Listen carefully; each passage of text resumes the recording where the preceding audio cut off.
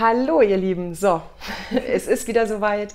Jetzt bin ich in München, also bei München und ähm, habe jetzt sozusagen die Location innerhalb Deutschlands äh, tatsächlich mal ähm, verändert und bin bei Tatjana äh, in ihrem Haus und ähm, wir kennen uns schon eine Weile und haben uns so ein bisschen verfolgt über Instagram, glaube ich. Ne? Ja. Und äh, sie ist mir mal aufgefallen, damals im Video mit Ralf, das weiß ich noch. Ähm, und ähm, ja, da hat sie mich damals angeschrieben. Du hast mich auch angeschrieben, dass du echt deine Geschichte gerne würdest erzählen. Genau. Und ich fand die auch spannend. Und ähm, genau, darum geht es heute. Also jetzt, jetzt mal hier in, in der Gegend, nicht in Thüringen, wo ich ja jetzt die letzten Monate war, sondern jetzt im Bayerischen. Hi, grüß dich, Tatjana. Hallo. Hallo, grüß dich. Ja, leg mal los. Also, oder ich frage mal einfach, womit ich ja immer anfange. Ähm, es gab ja für uns alle tatsächlich diesen Tag, wo man von diesem Coronavirus gehört hat. So d- der Tag, wo du, wo, wo du aufmerksam geworden bist. Welcher war das? Und wie bist du aufmerksam geworden? Was hat das mit dir gemacht? Oh, ähm, das war, ich glaube, aus Nachrichten und äh, das war noch, äh, als das noch im Kino war. Und ähm, ähm, es war eigentlich auch, ähm, weil mein Ehemann, der kommt ursprünglich aus China und seine Eltern wohnen hier. Aber wir waren mit dem schon einmal zusammen im Kino und haben ganz seine Verwandtschaft kennengelernt. Und da habe ich äh, noch nicht gewusst, ob das äh, was Erstes ist oder nicht und habe mir erstmal ein bisschen Sorgen gemacht über seine Verwandten und Oma und wie geht's da allen. Das, äh, das war vielleicht der erste Eindruck. Ah, okay. Und wie ging es denen dann? Also ihr wart dann, ihr wart hier in der Zeit und die Verwandtschaft von deinem Mann, die aus China kommt, die waren halt in China. In, Genau. in was für einer Gegend?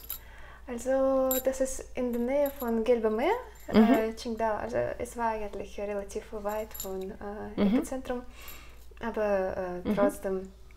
Also damals habe ich äh, die ähm, Eltern von Jörg gesprochen, mein Mann, und äh, sie haben gesagt, dass eigentlich bei denen alles super ist, alle sind ruhig und das war noch in dieser Zeit von chinesischen Neujahr, wo die Leute sich versammelt, aber die dürfen nicht äh, wegen ähm, Wegen Corona? Wegen Durften die Corona. nicht? Ähm, okay. Das Ja. hat praktisch gar nicht stattgefunden dann bei denen dieses Jahr. ja, Ah, okay. Was war das für ein Zeitraum? War das Februar oder wann war das? Ich glaube, das war kurz vor Februar, Ende Januar. Mhm. Okay. Ja, mm, die haben dieses Jahr nicht gefeiert, aber es ging allen gut, also keiner ist krank geworden. Und ähm, wie ist es jetzt? Also mussten die da auch Mundschutz tragen? Gab es auch da Maßnahmen, dass die nicht das Haus verlassen durften? Hat es das da gegeben? Mm, ehrlich äh, zu sagen, habe ich die nicht weiter gefragt. Äh, eine Freundin von mir ist äh, nach Kinang gezogen, das ist der Insel im Kinang, ach genau, im Corona-Zeitraum. Und ähm, die äh, hat freiwillige Isolation gemacht. Ich glaube, dass in anderen Regionen dürfen sie schon Haus verlassen, aber es gab einige Leute, die freiwillig zu Hause geblieben sind. Mhm. Okay. Ja gut, dann habt ihr da also nochmal einen ganz anderen Background ja auch. Aber eurer Familie geht es halt gut, auch bis jetzt, oder? Ja. Und wegen Masken, was sie gesagt hat, dass die seit, äh, ich glaube, seit sogar schon April äh, keine Maskenpflicht mehr haben. Es gab okay. eine Zeit lang welche und äh, danach nicht mehr. Mhm. Okay. Ja gut, und ihr wart hier. Okay, das heißt, ihr habt davon gehört, habt euch natürlich erstmal Sorgen gemacht um eure Verwandten in China, logisch. Ja. Ähm, und bei euch, wie ist es bei euch angekommen? Bei deinem Mann und dir? Und ihr habt ja auch ein kleines Baby, ne? Ja, Wie ist es bei euch so angekommen? also mh, bei uns erstmal äh, haben wir uns nicht so viel Gedanken gemacht, aber dann ist das im Stammwerk äh, gegeben und da waren wir schon ziemlich äh, besorgt. Ähm, und äh, ich bin ziemlich oft äh, Hände gewaschen und mit der Arbeit, äh, mit dem Auto zur Arbeit gefahren statt äh, S-Bahn, was ich vorher gemacht habe. Ja, und ähm, ich glaube, das war's für, für diesen Zeitraum, für Februar. Aber ähm, ich glaube, dann äh, habe ich eine Statistik gelesen, dass äh, von Italien, dass äh, ähm, es nicht so viele Leute sterben und oftmals äh, ältere Leute mit Vorerkrankungen. Das hat mich ziemlich entspannt. Da ich, habe ich mich äh, wohl gefühlt danach. Und ähm, was gab es dann aber für Reaktionen um dich herum? Also, weil es sind doch auch jetzt viele Menschen doch, die sich, ähm, die sich nicht so entspannt haben oder die sich richtig Sorgen gemacht haben, auch aufgrund der ganzen Nachrichtenerstattung. Ja, die ja auch, ich meine, immerhin, da kommt das Robert-Koch-Institut und sagt, hallo, ähm, das und das, ja, das macht ja mit den Menschen auch was. Alarm, also wenn man von ja. einer Pandemie spricht. Wie hast du das erlebt auf Arbeit und, und, oder bei Freunden? Ich glaube, es gab Leute, die sich immer noch sehr viel äh, Sorgen machen und sehr viel Angst haben. Mhm. Und ich glaube, das ist eher nach Personentyp mh, mm, abhängig. Es gibt mehr Leute, die mehr Risiko eingehen, die sind oftmals entspannt. Es gibt mhm. Leute, die mehr Sicherheit bezogen sind äh, mhm. und auch Leute, die sehr gerne putzen und viele Sachen desinfizieren, schon ohne Coronavirus und dann ging richtig schlimm, glaube ich. Ja, das habe ich jetzt auch beobachtet. Ne? Du denkst, es hat jetzt noch gewisse Sachen verstärkt, oder? Ja, ja. ja gut, ich glaube, da muss man eh drüber sprechen. Ich glaube, dass man jetzt einfach auch die mhm. Leute erlebt, in, also mhm. nochmal verstärkter in dem, was eigentlich schon immer da war. Ja. Also, aber äh, die Zeit jetzt, äh, die bringt das noch mehr zum Ausdruck, ne? ob jemand sich viel Sorgen macht, ob jemand Angst Angst hat, ob jemand putzwütig war, keine genau. Ahnung. ähm, wobei ich mir dann immer denke, boah, das hat ja auch Folgen für, für unsere Hände oder für unseren, also für die pH-Geschichte auch von, von der Haut und so, ne? Wenn du jetzt ständig dabei bist, in jedem Laden oder überall, wo du bist, das Desinfektionszeug zu nutzen, ich weiß nicht, ob das nicht auch irgendwann so eine Problematik mit sich bringt. Also ich könnte mir das gut vorstellen, weil wenn du ja ständig äh, das, was so natürlich dazugehört, damit du auch ein gutes Immunsystem hast, das auslöscht, wegbringst, ähm, hm, dann ähm, äh, entstehen andere Problematiken, die man ja vorher auch immer, wo Ärzte doch vorher auch immer gewarnt haben, wenn Menschen sich viel desinfizieren, ja, entwickeln sie keinen Schutz. Äh, äh, und wenn ich das dann noch mit Kindern mache oder mit mir selber, hm, also klar. Und am Anfang wurde ja alles eingesprüht, auch die Einkaufswegen in den, in den Läden und so, ne? Das, das stimmt, mhm. das stimmt. Ja, es, äh, es hat so zwei Seiten. Ich glaube, ähm, bei meinem Mann, seine Mom hat äh, viel und gerne geputzt und er hat jetzt sehr viele Allergien auf alles Mögliche. Also, okay. Und ja, es kann von vielen Ursachen kommen, aber es kann auch sein, dass das dazu führen kann. Mhm ja gut, ist, äh, wir befinden uns halt immer wieder auch in so einem Bereich von, da, dass man feststellen muss, man, äh, man registriert irgendwann vielleicht, dass man nicht weiß, ja, also mhm. ähm, aber sich viel vorstellen kann oder das auch sein lassen kann. Aber dein Mann hat der aufgrund seiner Allergien dann Angst gehabt? Dass, dass, also hat er sich Sorgen gemacht, auch wegen, wegen eures Kindes und habt ihr gedacht, oh Gott, das ist ja jetzt noch so klein, das könnte jetzt auch echt riskant sein? Fürs Kind? Äh, ich glaube, am Anfang äh, haben wir uns Sorgen gemacht mhm. und danach haben wir uns äh, entspannt. Wir sind beide Optimisten mhm. und äh, das glaube ich sofort bei deinem Lachen. Auf jeden Fall. Das mhm. heißt, ihr habt euch auch echt bestärkt in der Zeit. Seid ihr aber auch ganz normal rausgegangen?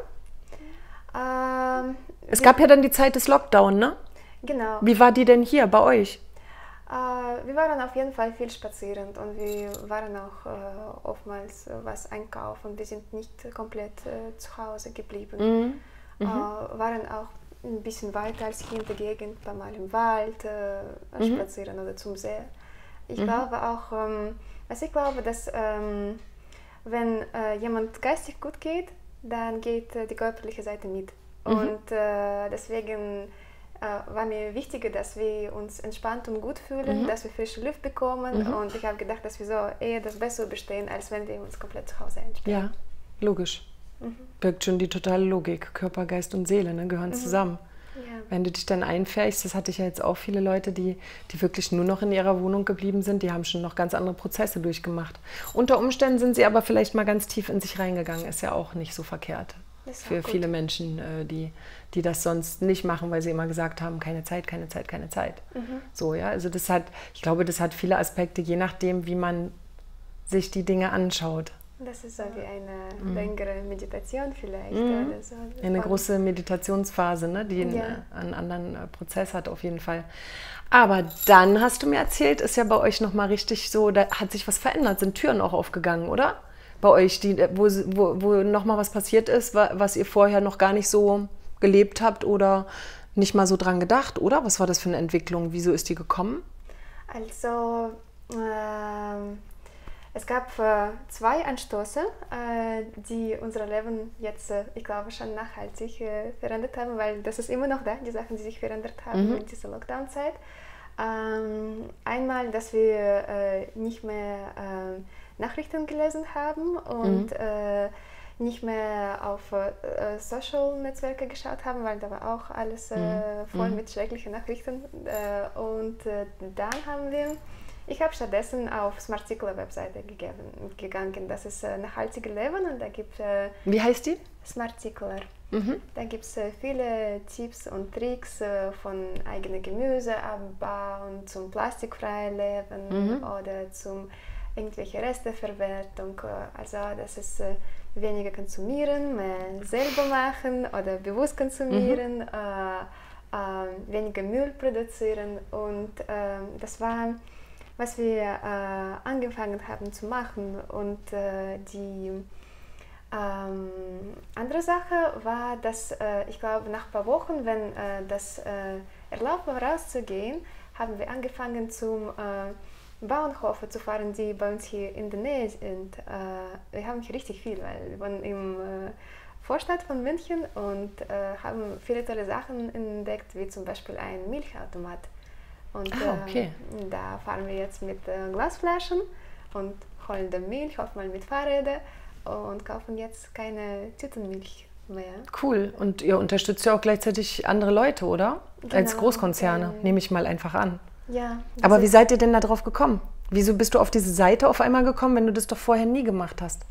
Ach, das ähm, hat mir eine Freundin erzählt und mhm. äh, ich habe gedacht, ich habe nach irgendwas gesucht, mit was ich soziale Medien ersetzen kann. Ah, okay, so. Äh, dass ich äh, die Zeit am Handy, die ich vielleicht brauche zum Entspannung, weil wir ein kleines Kind haben, das ist schon schon irgendwas zu lesen und äh, ähm, also das habe ich statt äh, auf Facebook auf dieser Smart Seite verbracht und da gab es viele Tipps. Mhm. Und da wir nicht groß reisen könnten, äh, haben wir geschaut, was hier Interessantes gibt und äh, da wir viel über diese grünen Themen diskutiert haben, haben wir angefangen zum Hofladen zu gehen von Bauernhöfen. Super, und ihr habt hier einige in der Gegend. Ja. Und das, äh, das habt ihr beide dann auch zusammen gemacht. Fandet ihr beide gleich gut, oder? Ja, das. Dass ihr gesagt habt, cool, das, ist, das machen wir jetzt. Ja, ich habe, ich glaube, ein paar, paar Sachen angefangen äh, alleine zu machen oder vorschlagen und Jörg hat äh, das alles äh, mitgemacht, aber wir haben schon viele Sachen, die sich im Haus verändert haben zum Beispiel statt äh, Papiertücher nutzen wir jetzt so weiße Lappen. Mhm. Äh, und, äh, Meinst du statt, statt Papiertücher für den Haushalt oder auch Toilettenpapier? Äh, statt äh, Haushalt. Mhm, okay. Und äh, mhm. zum Beispiel, mh, mm, um Gemüselänge halber zu machen, die wickeln wir da rein und kann auch viel, viel Papiermüll jetzt dadurch vermeiden.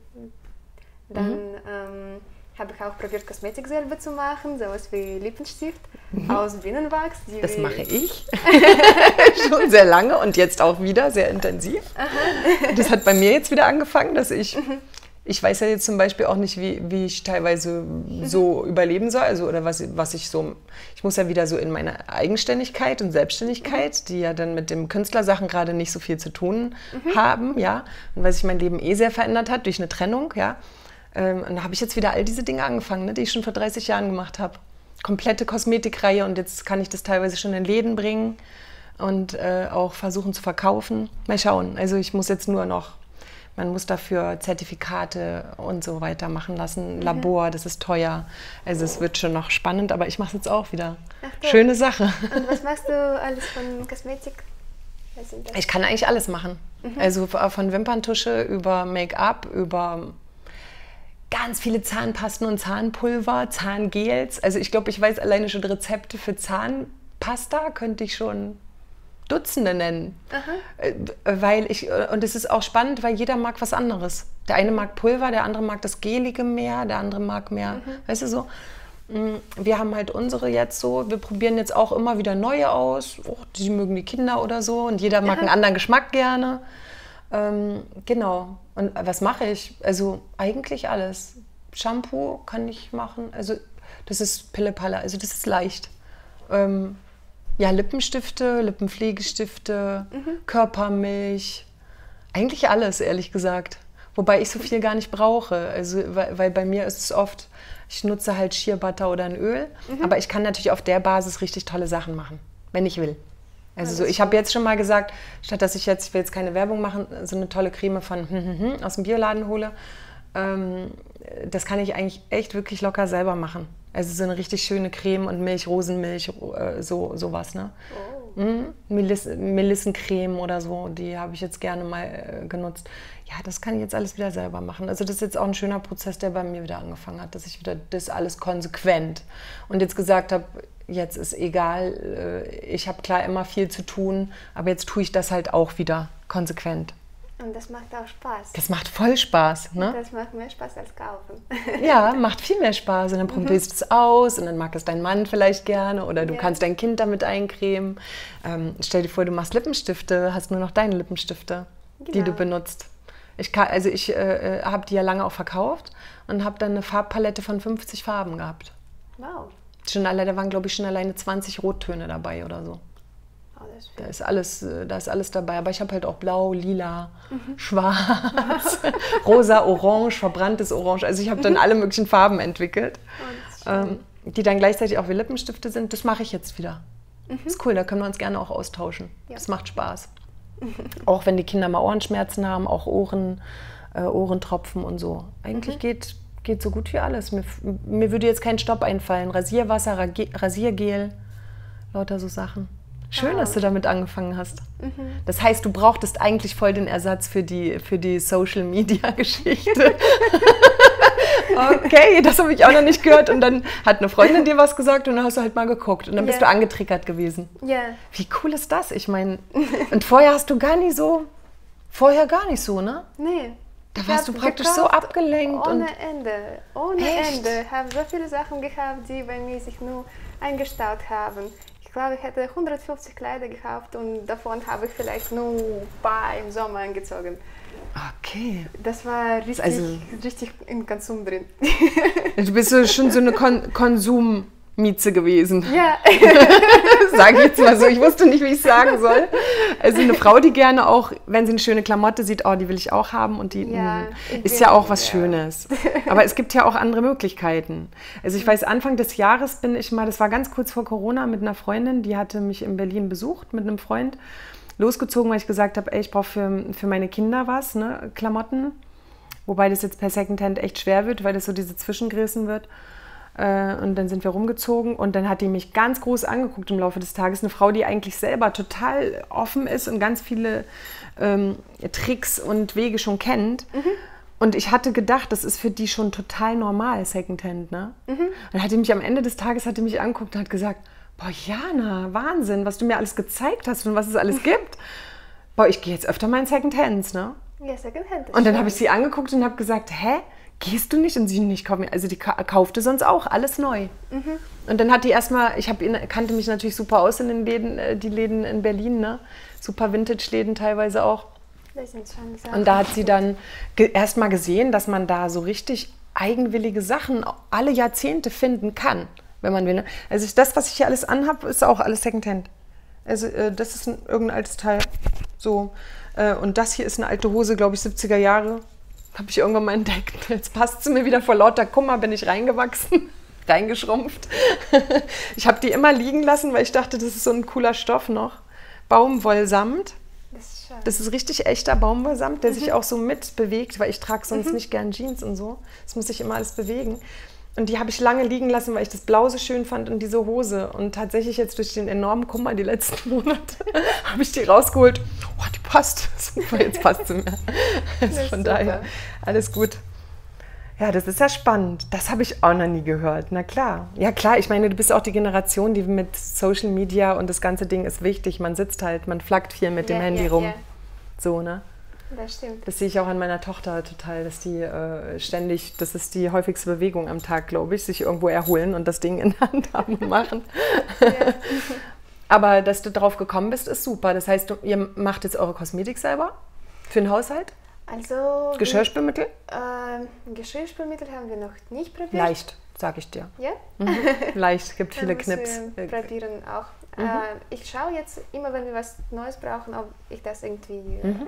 Ohne großen Aufwand selber machen kann. Mhm. Und wir probieren laufend neue Sachen. Zum Beispiel jetzt haben wir aus äh, Zitronenschalen und Essig eine Reiniger gemacht. Genau. Probieren das mal und äh, Peelings machen wir immer selber. Ich fand das super toll, dass man statt große Dose Peeling zu kaufen, kann man für sich einfach so kleine Menge mischen mit Aroma, die man mag und nächsten Tag eine andere. Genau. Das ist toll. Also genau. Das nach der Lust und Laune und genauso viel wie du brauchst, muss man nicht wegschmeißen dann danach, wenn das irgendwie. Und es ist und es ist sinnlicher, oder? Also mhm. ganz ehrlich, oder Tatjana, das hat eine andere Sinnlichkeit, als wenn ich was kaufe, aufmache und, und du weißt im Grunde, auch wenn es Bio ist, das kommt aus einer großen Industriegeschichte mhm. und wer weiß, wann die hergestellt wurde. Also wenn du dir das aber frisch zubereitest, das ist schon eine andere Sinnlichkeit, ne? Ist ein anderes Fest, oder? Genau. Also zum Beispiel mit einer Badewannenmischung, sag ich mal, oder mit einem Shampoo, das du machst, oder einem, ähm, keine Ahnung, einem Rasiergel für den Mann oder so. Sich das aufzutragen, ist eine komplett andere Nummer. Mhm. Ist, also ich finde auch, dass äh, in das Leben von einem, mhm. kannst du mir das auch bestätigen, eine andere Sinnlichkeit, eine andere Offenheit einkehrt? Ich glaube schon. Mhm. Also wir haben gefühlt, dass wir das äh, jetzt mehr bewusst machen und uns auf diese Sachen mehr freuen, auf jeden Fall. Es gibt doch auch Spannung so äh, mhm. für euch als Paar, oder? Euch da auszutauschen. Ihr habt ja neue Bereiche für euch entdeckt und könnt mhm. neue diskutieren oder neue besprechen. Genau. Und, ne? Ja. Das ist schon auch was Spannendes, finde ich. Und man hat auch Gefühl, man tut was Gutes. Mhm. Ich glaube, das. Das auch. Das kommt ja noch dazu. Und ja. ist ja auch toll. Ist jetzt der mhm. Zeitraum, wo ihr ein Kind habt, das jetzt ein Jahr alt ist. Mhm. Ähm, da, dann die Tür aufzumachen, ist natürlich gleich auch gleichzeitig eine Tür aufzumachen für euer Kind. Genau. Ja, für die Zukunft auch. Das, das ist, ist eine schöne Sache.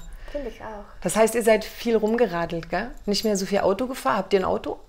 Wir haben ein Auto. Habt ein Auto, aber ihr habt das Auto mehr stehen lassen? Tendenziell? Mm, würde ich nicht sagen. Also, nee, ihr seid irgendwo hingefahren und seid spazieren gegangen, hattest du ja gesagt, gell? Zum Beispiel. Das auch und auch der, der wenn der Kind der ist dabei, zum Beispiel, weiß ich, ich glaube maximal eine Stunde können wir radeln. Äh, okay. Dann hat er keinen Bock mehr. Also für nicht so lange Strecken ist gut, aber für längere Strecken. Ja, es ist ja noch eine kleine Maus. Das ja. musst du ja auf dem Fahrrad, geht das gar nicht so leicht. Mhm. Mhm. Aber die Bahnhöfe die sind äh, nicht so weit. Hier zum Beispiel dieser Milchautomat, mhm. da kann man nicht hinradeln. Das mhm. geht noch. Mhm. Und ähm, wie, war, wie war die Zeit für euch? Okay, das hört sich jetzt so an, als ob ihr eigentlich hier gelebt habt als wenn trotzdem irgendwie nicht weiter was ist. Außer dass du gesagt hast, ich gehe jetzt nicht mehr in die S-Bahn da groß rein oder so und mache das dann eher lieber per Auto.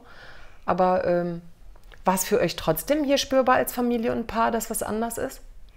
Mm, ich glaube, wir haben auch gelernt, einige Sachen zu schätzen. Wie zum, zum Beispiel, Beispiel, die Großeltern.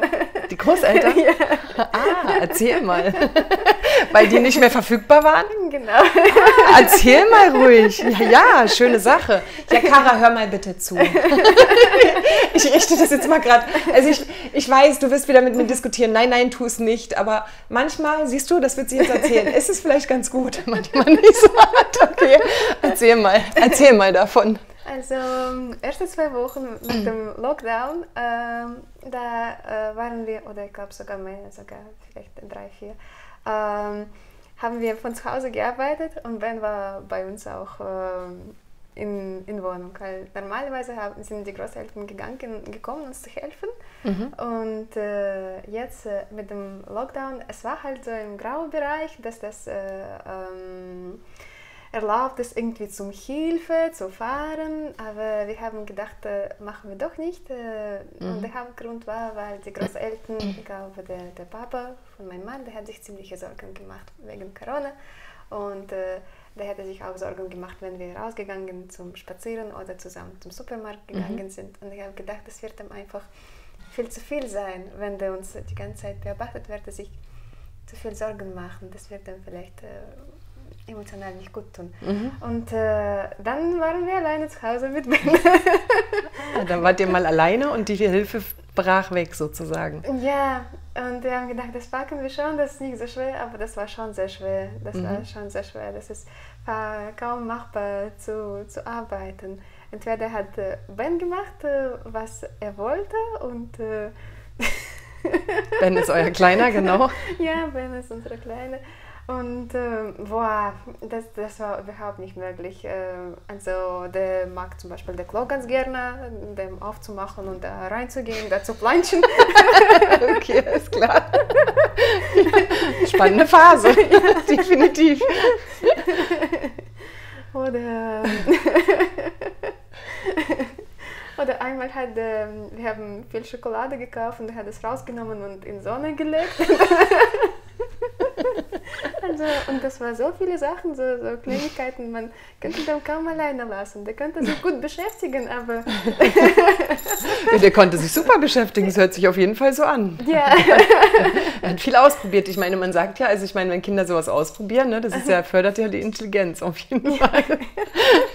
aber klar, also das heißt, ihr beide führt, also übt jetzt beide so Berufe aus, dass ihr ins Homeoffice gehen konntet. Ja. Okay, das ja, machen ja wirklich viele Leute mittlerweile. Ne? Mhm. Scheinen ja wirklich wahnsinnig viele Leute so Berufe zu haben, die äh, Homeoffice-fähig sind. Ist natürlich nicht schlecht. Das heißt, ihr habt eure Arbeit nicht verloren. Nee, bei mir war gekürzt, aber auch nicht so wild. Ähm, ich arbeite jetzt vier Tage statt äh, fünf Tage. Mhm. Und, ähm, Bist du auf Kurzarbeit gegangen oder? Mhm. Ja? Okay. Auf der Kurzarbeit. Mhm. mhm. Ich glaube, wir sind meistens ähm, auf 80 Prozent reduziert. Mhm. Mm, was eigentlich äh, meine äh, Arbeitgeber ist Sixt und dem geht es eigentlich echt nicht so gut, weil da sind, äh, wir sind sehr auf Reisen bezogen und äh, die meisten Stationen sind im Flughafen und das ist natürlich jetzt äh, was äh, komplett weggefallen Was macht ihr beruflich? Was macht ihr denn, dass ihr so viel reist? Ähm, also ich, ich reise nicht, aber der, der Sixte, der hat seine Einkünfte aus der Reisen. Mhm. Mhm. Äh, aber okay. mein Mann, äh, der hat vorher mehr gereist, der ist im Einkauf. Mhm. Und jetzt war aber Ich habe das natürlich immer gesehen auf Instagram, dass ihr viel unterwegs seid. Ja, das machen wir ähm, gerne, aber im Urlaub oder schon mhm. am Wochenende. Ja, super, mhm. schön. Das ist ja witzig. Das heißt, ihr habt jetzt auf einmal gemerkt, was die Großeltern nämlich wirklich echt ganz schön taugen, ne? Ja. Wie lang ging die Phase dann ohne Großeltern? Ich glaube drei, drei, vier Wochen. Ich glaube drei Wochen, das war. Das kann eine lange Zeit sein, gell? Aber zum Glück müssten wir mhm. nur zwei Wochen arbeiten und danach hätten wir einen Monat Elternzeit eingeplant, die wir eigentlich auf Hawaii verbringen wollten. Haben aber hier verbracht. War. Mhm. Also dann müssen, müssen wir nicht mehr arbeiten und dann ging es schon viel besser. Das, dann haben wir unsere Zeit äh, genossen, auch zu Hause. Mhm. Und äh, bei Großeltern hat man auch gesehen, dass dann das überhaupt nicht gut getan hat, äh, dass die äh, nicht äh, rausgegangen äh, sind mhm. oder der Ben nicht mehr gesehen haben, mhm. Äh, weil man hat schon gesehen, dass die irgendwie lebt. Also dem, irgendwie der Leben ist aus Gesicht ein bisschen rausgegangen. Ich weiß nicht, wie man das beschreiben soll. Doch, es, es ist ja, wenn man beschreibt, das Leben geht aus jemandem ein bisschen raus, die Freude ist halt weg, ne? Der mhm. Lebenssinn vielleicht auch. Mhm. Das, was man gerne tut, das, was man immer getan hat. Das haben wir auch mit so kleinen, kleinen Schnorpseln in der Familie, ist ja auch, da kommt das Leben auch wieder so voll rein. Mhm. Und viele, die ja sowieso Rentner sind, ähm, brauchen ja auch so eine Aufgabe. Also stell dir vor, die, die sind jetzt immer nur in der Wohnung, immer nur im Ding. Also was ist denn das? Ja. Das ist ja, da bist du ja nur noch zurückgeworfen auf den Fernseher. Mhm. Und wenn du dann nicht mal einen Garten hast, ist auch noch schwierig. Aber das Zwischenmenschliche äh, fehlt ja tatsächlich auch, ne? Ja. Ja, das kann ich mir vorstellen. Das heißt, die seht ihr jetzt auch regelmäßig wieder, gell? Heute, heute ist ja der Lütter auch wieder da, ne? Ja, ja. Deswegen können wir ja das Interview machen. Ähm, das heißt, die Angst ist auch ein bisschen geschwunden mit der Sehnsucht nach dem Kind bei den Großeltern? Die Einstellung hat sich ein bisschen geändert? Das hat sich geändert, aber zum Beispiel, sie wollen dieses Jahr nicht reisen, mhm. auch in Deutschland nicht, mhm. obwohl sie normalerweise ziemlich viel unterwegs waren. Okay. Und auch jedes Jahr nach mhm. China mhm. geflogen sind, mhm. um mhm. Verwandte zu besuchen. Ja. Äh, wie ist, und wie formt sich das jetzt, also wie hat sich das auf eure, ist bei euch auch in der Beziehung irgendwas passiert? Ich meine, erstmal hört es sich ja an, als wenn ihr auch viel, viel neue Spannung erlebt habt, also eine gute Spannung und äh, so, so schöne Dinge entdeckt habt für euch. Mm, ist mit eurer Beziehung da was Neues passiert auch? Oder hattet ihr auch mal richtig Stress und habt gedacht, boah, so, also mhm. ist bei euch da was passiert? Ich glaube, am Anfang... Ähm war das äh, nicht so schön für die Beziehung. Ähm, ich glaube, weil wir auch versucht haben, nicht so viel rauszugehen und auch uns mit keinen anderen Menschen getroffen haben am mhm. Anfang, äh, waren wir beide irritiert. Wir haben uns ständig irgendwie angefaucht oder mit höheren Tonen miteinander gesprochen und das hat eine Zeit lang so gegangen und dann äh, die äh, Nachbarin äh, hat uns mal über den Zaun erzählt, dass äh, jetzt die Scheidungsquoten steigen in Frankreich und äh, äh, so, so. Coole Nachbarin, okay. Mhm. Und ähm, dann haben wir das gemerkt, dass das eigentlich, ähm, dass wir mehr Sorgen übereinander machen müssen, uns mhm. mehr kümmern. Dass ihr euch mehr to care about ja. the other one. Mhm. Ja. Sich mehr um den anderen kümmern und um, um die Beziehung halt. Ne? Genau, dass genau. das einfach nicht so, äh, nicht so weitergeht. In die Bewusstseinswerdung gehen, was ist jetzt notwendig, was ist jetzt wichtig, damit wir das äh, uns nicht aus den Augen und aus dem Herzen verlieren, gell? Genau. Mhm. Dann, Coole Nachbarin. Ja. Coole Nachbarin. Die Streits müssen lauter gewesen sein manchmal. Ja. Aber ich finde gut, wenn Menschen noch äh, sich aufmerksam machen oder sagen, hey, äh, guck mal hin oder so, finde ich gut. Finde ich richtig gut. Das, äh, das war auf jeden Fall gut, dass wir das gemerkt haben. Mhm. Und, äh, dass ihr es aufgenommen habt auch. Ja. Dann habt ihr euch zusammengesetzt und mal drüber gesprochen? Wir, wir waren beide, glaube ich, für eine, eine Zeitraum ein bisschen stille. Mhm. Und dann hat er zum Beispiel angefangen, mir Kaffee im Bett zu bringen. Oh, wie schön. Und ich habe äh, äh, versucht, mehr Sachen anzumerken, die er gut macht. Und äh, mhm. wir haben gemerkt, dass wir uns wirklich mhm. Äh, auch wie, wie, Blumen gießen müssen, dass damit die Beziehung genau. wächst. Gießen auf jeden Fall, sonst geht das alles kaputt. Das ist mhm. schon, man kann das schon immer so vergleichen. Ne? Ja. Das sind äh, gute Vergleiche aus der Natur, weil wir auch Natur sind. Auf jeden Fall. Mhm ganz sinnliche Sache. Das heißt, das habt ihr jetzt super geschafft. Ihr arbeitet wieder ganz normal? Ist alles bei euch in den normalen. Äh, okay, ihr habt, du hast Kurzarbeit, aber ansonsten hat es für euch jetzt das Gefühl, wieder, auch bei uns ist eh alles irgendwie normal wieder? Oder ist, oder ist das Gefühl ein anderes? Es ist was anders geworden, es wird was anders, wo geht das hin? Oder wir wollen wieder in unsere Normalität zurück? Oder, also wie viele Leute ja auch sagen, ne? Wie ist es mhm. für euch? Also wir sind immer noch im Homeoffice. Mhm. Ähm, wir finden das beide gerade sehr schön. Wir haben jetzt uns äh, zum Änderung eingelebt und äh, ziehen jetzt die, die schönen Sachen raus. Zum Beispiel letzte Woche die Reise, die wir nach Italien gemacht haben. Mhm. Äh, da hat Jörg Urlaub genommen, der hatte mehrere Überstunden und ich habe gearbeitet. Und so könnten wir noch eine extra Reise machen, was wir sonst nicht machen könnten, weil cool. ich habe dafür keinen Urlaub genommen. Oder wir gehen mittags äh, oftmals irgendwo zum See essen, was wir sonst nicht machen könnten. Oder wir verbringen Zeit mit unserer Kleinen, mhm. das ist auch ganz schön. Mhm. Also ich mhm. glaube, jetzt äh, haben wir... Mh, mm, Alles gut, Milan? Ähm, also ähm, wer, entsteht da auch die Idee davon, dass ihr sagt, wow, das ist jetzt ein, äh, tatsächlich ja, das ist ja dann auch ein neues Lebenskonzept es ist dann schon auch ein neues Lebenskonzept, oder? Ein neues Leben, ein neuer Lebensstil, der entsteht. Das Eine stimmt. Lebensqualität. Okay, aber steht nicht dann auch irgendwie die Idee im Raum, dass man sagt, das wollen wir jetzt immer so haben? Oh, Und wie kommen wir dahin? Habt ihr eine Idee, wie ihr da hinkommt, auch nach der Zeit? Ich meine, wenn es doch jetzt geht, kann man sich dann auch die Frage stellen, das kann danach ganz, ganz genauso gehen und das kriegen wir irgendwie hin? Hm.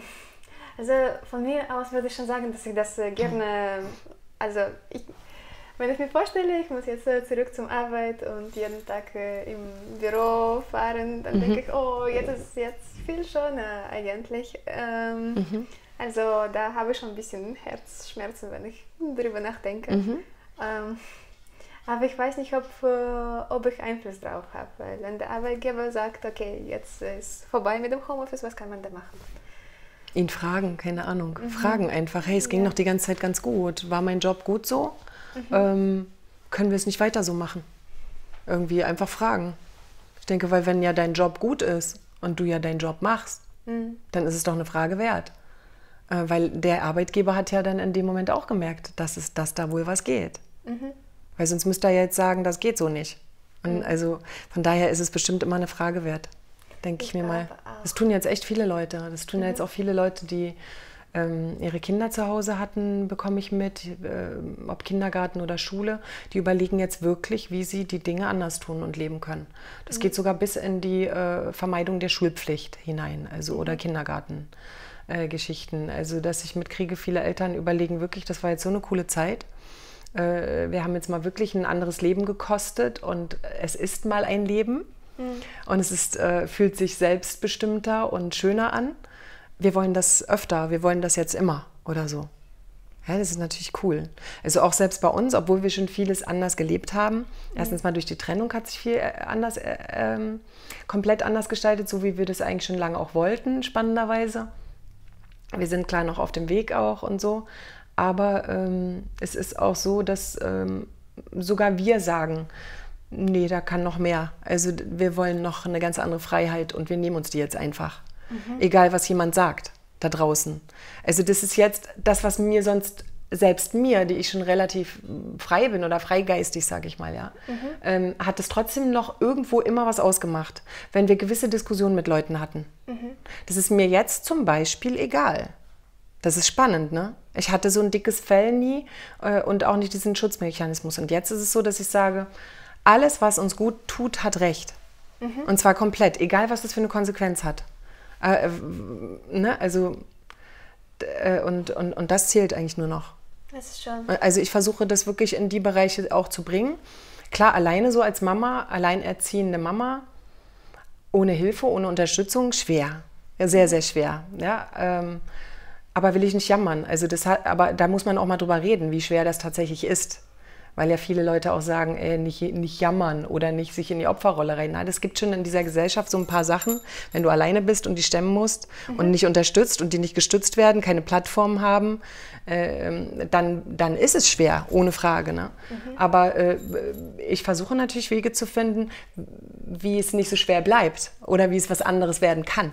Mhm. Oder wie die Leute, mit denen ich bin, besser mitarbeiten oder die Kinder besser mitmachen. Dass ich ein Bewusstsein dafür äh, in den Raum bringe, Schärfe zu sagen, wenn ihr davon profitiert, dass wir eine andere Lebensqualität haben, bedeutet das aber auch, dass ihr gewisse Sachen anders mitmachen müsst, um mich auch zu unterstützen. Also das heißt, wir werden wieder gegenseitig ein System. Mhm. das sich gegenseitig stützt, wo früher ja ein ganzes Dorf dafür da war oder eine ganze Familie, Oma, Opa, Tanten, Onkel. Also davon reden wir ja schon lange nicht mehr in der Regel, äh, sondern alleine, alleine, alleine und hinkriegen.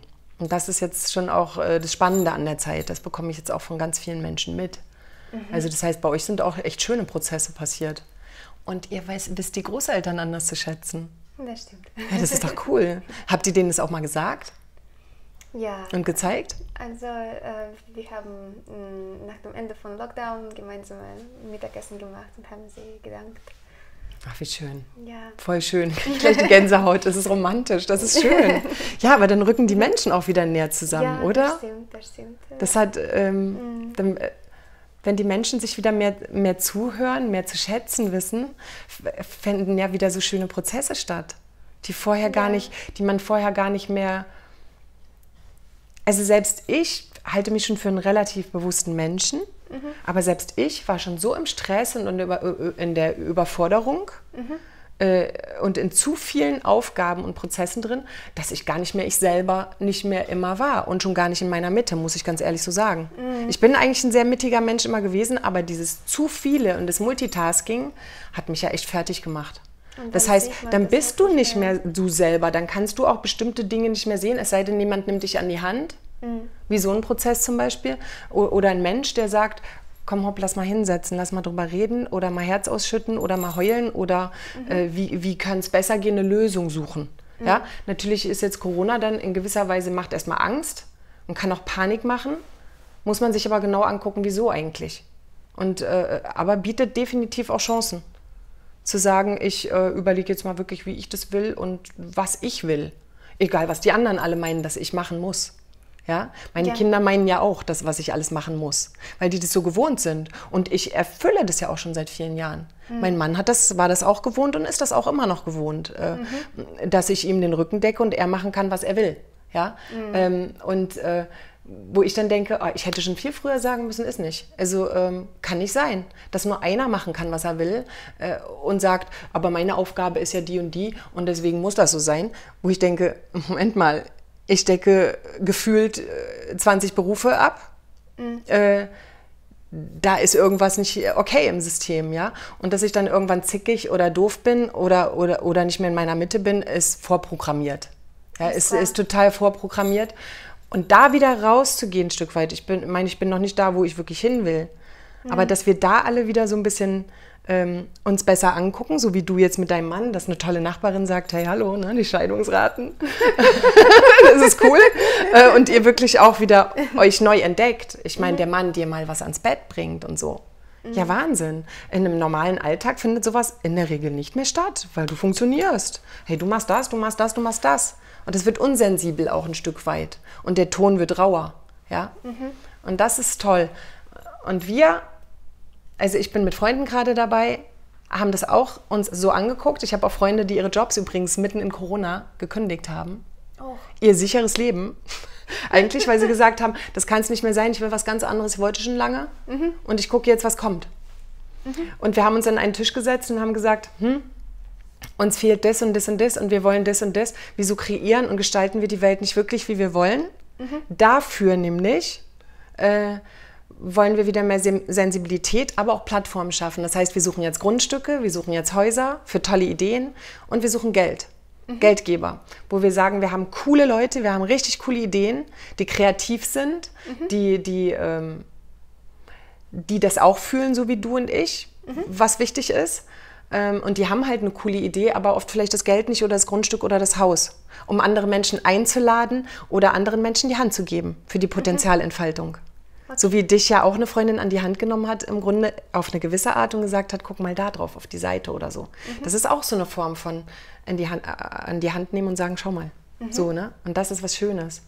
Hast du was Tolles hier erlebt. Noch irgendwas, was du mir erzählen magst? Was dir am Herzen liegt? Mm, ich glaube nicht mehr. Ich kann nur generell sagen, dass ich glaube, ich bin froh, dass das so passiert ist. Und nee, stopp, wir haben eins vergessen. Mhm. Als die Maskenpflicht kam. Aha. So, und die ist ja auch noch.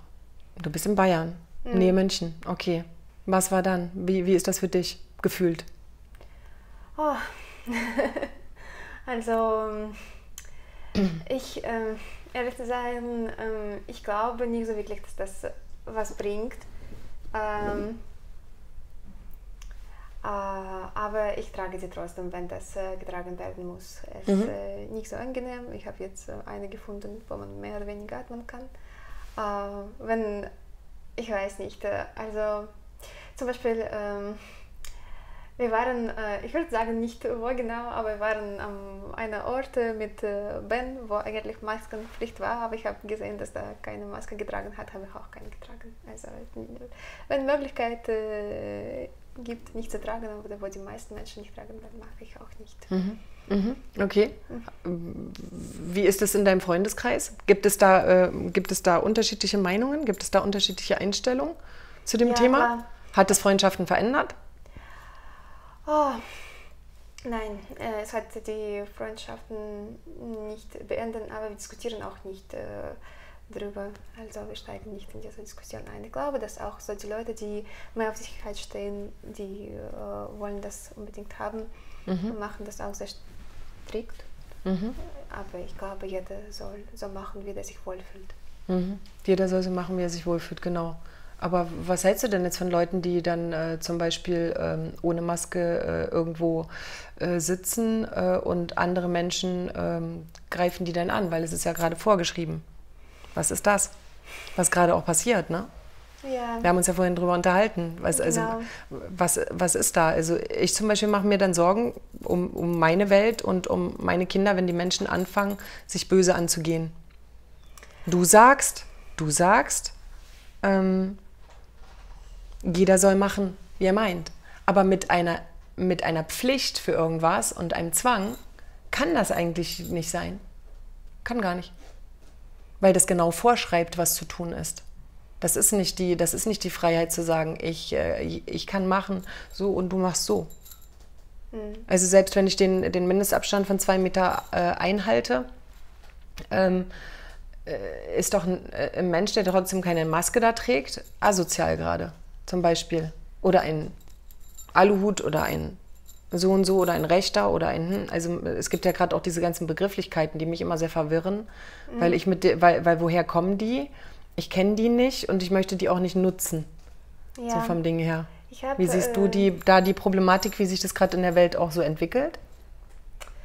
Uh, ich habe äh, die Leute ein paar Mal gesehen, die ohne Masken im S-Bahn waren. Das waren oftmals Freigeister und Künstler. Man sieht sie sofort. Die haben mhm.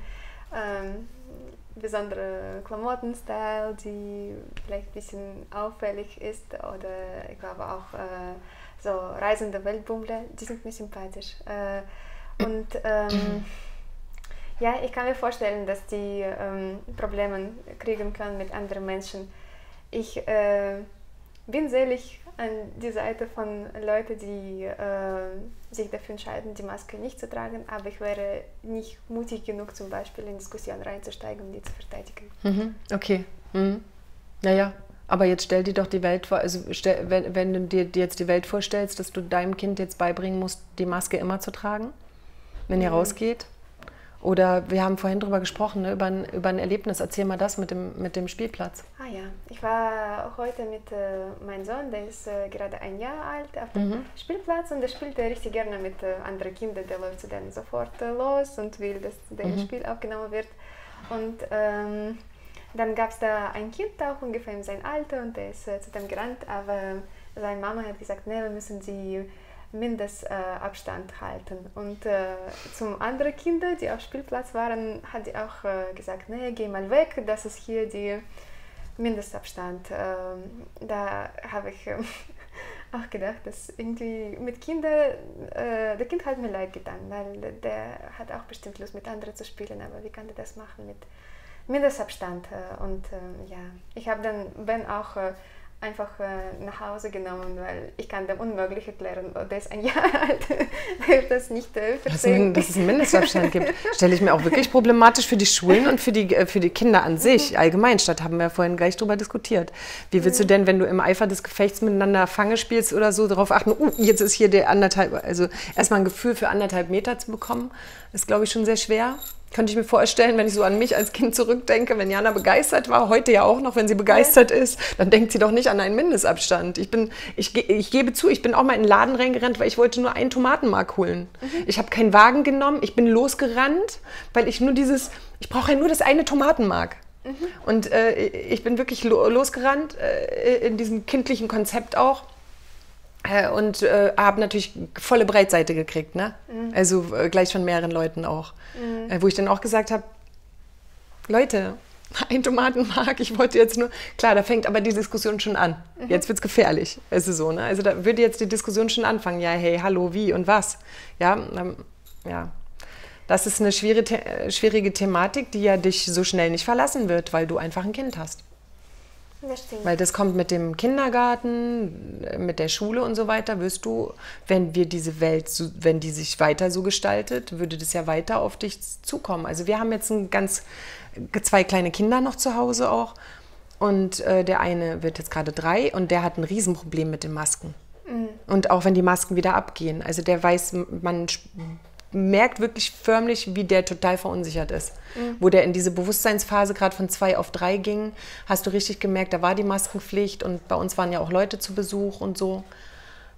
Mm, und äh, da war das schon ein Problem für ihn, auf einmal Leute ohne Maske zu sehen, aber es war auch ein Problem, die Leute mit Maske zu sehen, weil du siehst einfach den Mund nicht mehr. Mhm. Das hatten wir jetzt im Interview mit Milan ja auch, ne? so dieses, du kannst mhm. die Leute nicht mehr einschätzen. Und nicht jeder hat lächelnde Augen. Definitiv nicht. Also das sind, äh, das sind schon so Sachen, ich gucke jetzt auch die Leute ganz anders an. So. Wie, wer ist das da hinter der Maske und so. Und manche haben ja auch so große Dinger. Ne? Also ja, die sind ja, dann ja. auch noch größer.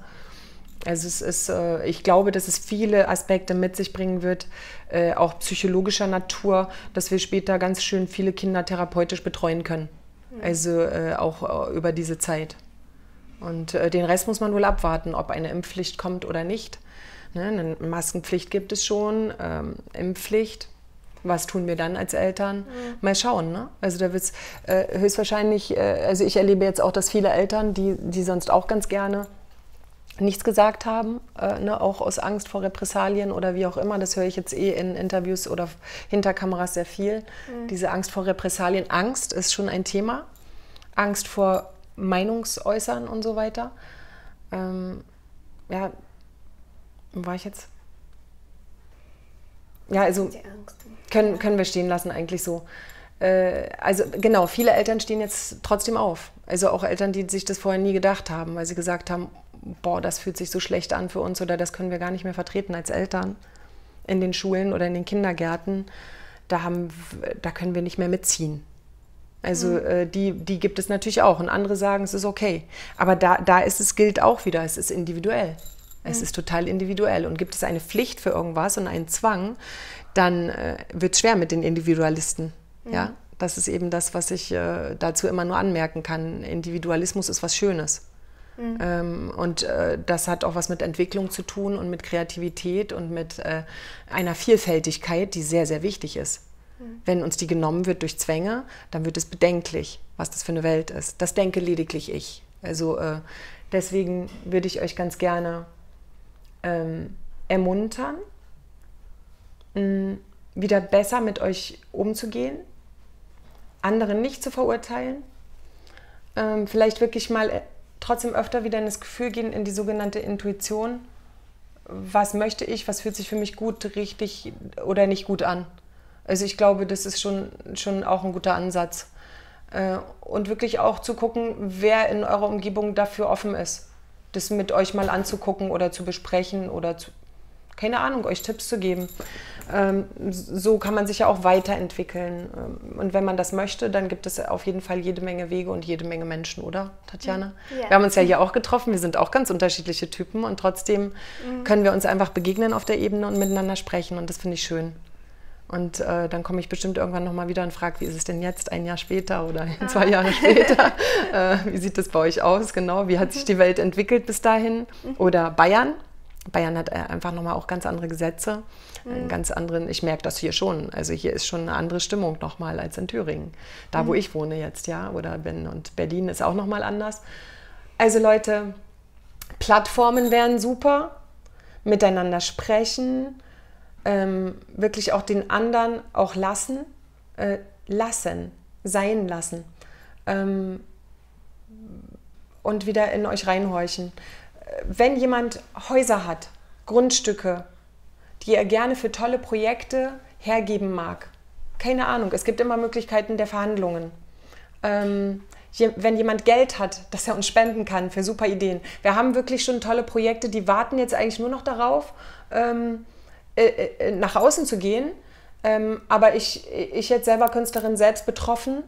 Also ich verdiene gerade selber auch gar kein Geld zum Beispiel. Ähm, habe jetzt nicht das Geld. Aber ich hab, wir haben die Ideen und wir haben die Leute. Und äh, das würde schon auch nochmal viele sehr spannende Aspekte in, in, die Zeit, die jetzt auch kommt oder die jetzt auch ist, auf jeden Fall reinbringen. Also das sollen Projekte werden für alleinerziehende Mütter, Projekte für Menschen, die gerne so und so und so leben wollen oder anderen Menschen was vermitteln wollen. Die brauchen Platz, die brauchen Raum dafür. Ja? Ähm, und deswegen würde ich mich freuen, wenn ihr, wenn ihr euch meldet ähm, schaut mal unter den Videos, gibt es Links, jede Menge. Kontakten kann man mich ganz leicht. Wenn ihr das per Web macht, also janaandre.web.de, dann schreibt bitte oben im Betreff, weil ja vieles auch in Spam geht, rein Interviews, wenn ihr ein Interview mit mir machen wollt. Übrigens nicht nur zu dem Thema. Es gibt so viele Themen, über die nicht gesprochen wird oder in der Berichterstattung außen oft anders stattfindet.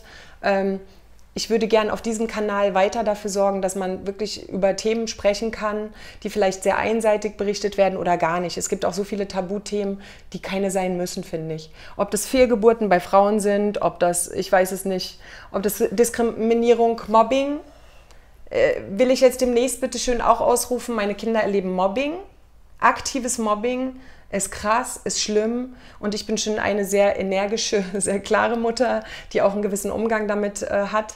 Äh, und trotzdem erleben wir das, ja, weil wir auch vieles anders leben und so weiter, weil wir neu sind da, wo wir sind und so weiter. Also ähm, Leute, sprecht darüber, sprecht die Leute an, mit denen euch das passiert. Ähm, tut was. Ich würde mich darüber freuen und ich bin auch gerne Ansprechpartner dafür ähm, und gebe auch gerne Hilfestellung, wenn ich das kann. Also äh, Tatjana, vielen, vielen Dank fürs Gespräch und bis bald. Tschüss. Ciao. Ciao. Tschüss. Ah. oh, da, da, da.